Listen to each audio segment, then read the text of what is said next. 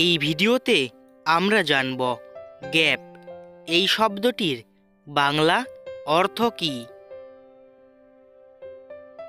Gap, এই শব্দটির বাংলা অর্থ হবে বাজে গল্প।